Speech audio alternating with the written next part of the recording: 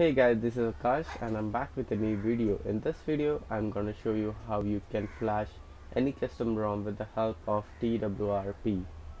So let's get started.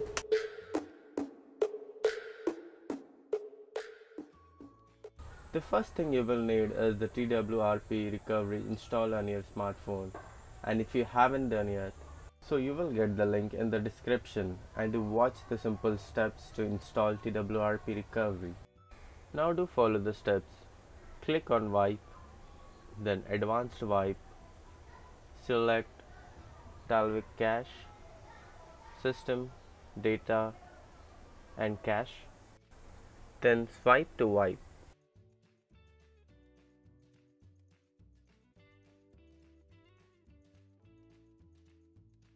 and after it's done let's go back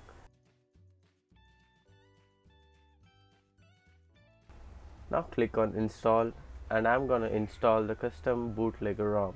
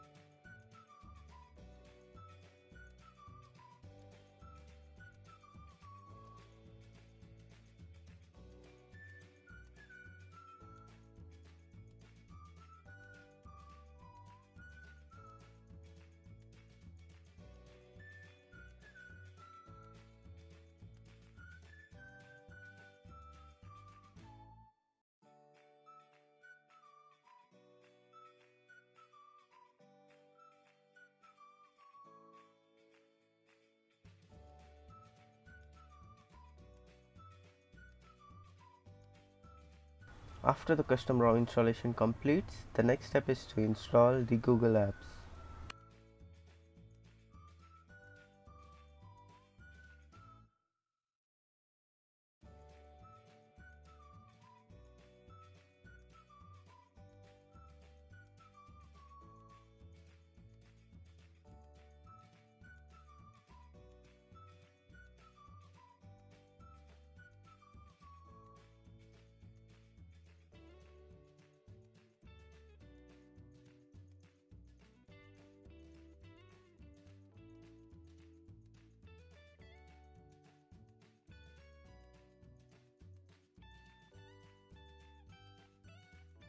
And after the installation completes let's reboot the system.